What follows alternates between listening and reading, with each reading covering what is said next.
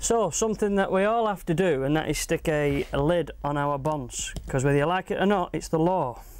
And the truth being is, a lot of people don't take the care uh, over the helmet that they should, because after all, just one day it might, like, you know, save you or whatever.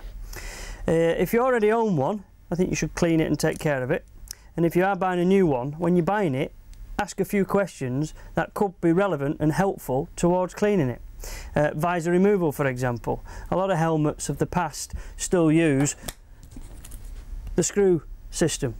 Well, if you've got plastic screws holding the side pods on, which hold the visor on, don't use uh, a small little screwdriver to, to open them because all it'll do is chew the screws up. Use a decent chunky screwdriver or alternatively uh, a coin you take care of them then because the truth is uh, half the time you can never buy replacements and if you damage them you'll never get uh, a replacement and you'll have to throw your helmet away.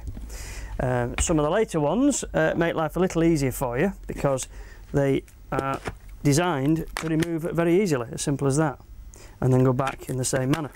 Couldn't be any easier. this one, for example, not a particularly costly helmet, but hasn't got a horrible screw mechanism. You pull the side pod off, you pull the visor away.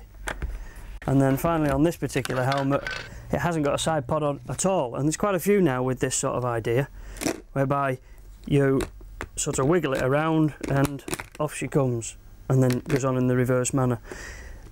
I think really you should look at that sort of thing when you're buying a new lid because if the visor comes off very easy, you'll clean it and wash it more often. Doing so lasts longer you've not got blurred or scratch visor giving you blurred vision at night, um, it's cheaper. Let's be fair, because a visor nowadays can cost you anything between 20 quid and even as much as 35, 40 quid, depending on the make of helmet. Uh, about visors, well, the legal factor. There is legal visors and illegal visors. You're allowed to wear at any time a clear visor that has got a BSI approval stamp on it. That will come with the helmet.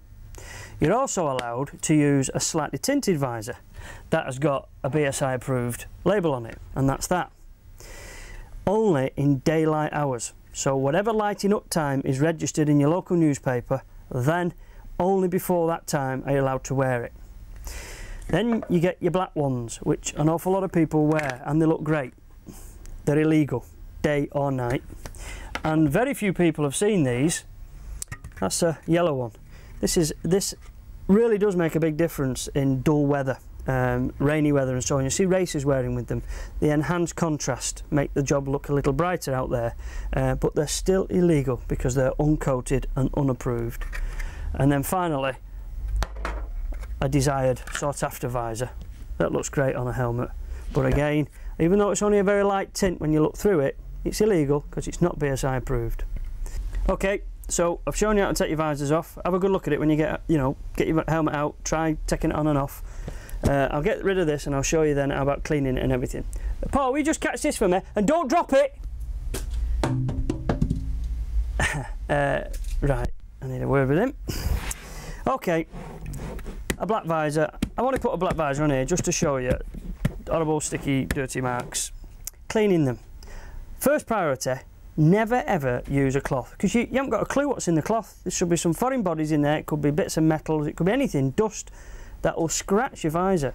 So don't clean it with a cloth, first mistake, and try and avoid the old, you know, with your sleeve, because again, you don't know what's in your sleeve. Just use a tissue. Now, due to the fact that there's a lot of bullshit in our establishment, 90% of the time, we always have a small toilet roll everywhere we go. use tissue paper, use uh, kitchen roll, whatever. Um, we always have these things, wee willies. I'm famous for my wee willies. quick squirt. In this case, we've just got soapy water and a quick wipe.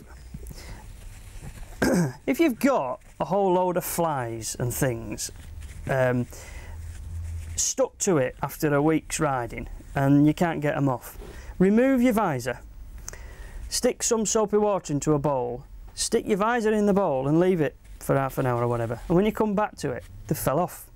Then just run it under a cold tap give it a dry with a tissue and you're back to square one you've got a nice clean visor all the time avoiding the old cloth or whatever there's loads of products on the market for cleaning the visor on the outside for demisting the visor on the inside and even now sanitizers as they call them for using on the liners. Some helmets you can actually wash out, not all. So inquire when you buy one and inquire if you've already got one whether you can wash it out or not. If you can't, there's a number of products as I say. This is one, a helmet cleaner. Here's another. And all they are really is designed to give it a bit of a fresher smell because after all you clean your barnet every uh, day.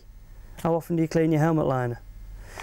And then finally, if your visor's a bit sort of weak on the ratchet, don't assume because it's not scratched that you don't need to replace it. That ratchet could one day cause the visor to flick up when you don't expect it catch you by surprise, frighten the living daylights out of you, even bring you off your machine. Check your visor, check your helmet, take a bit of care over it. You've spent a few quid on one, even if it's only 40 quid. You might have even spent 450 quid if you've got, you know, if you've got the best. It's worth taking care of them. That's all I can suggest. Give it a clean regularly.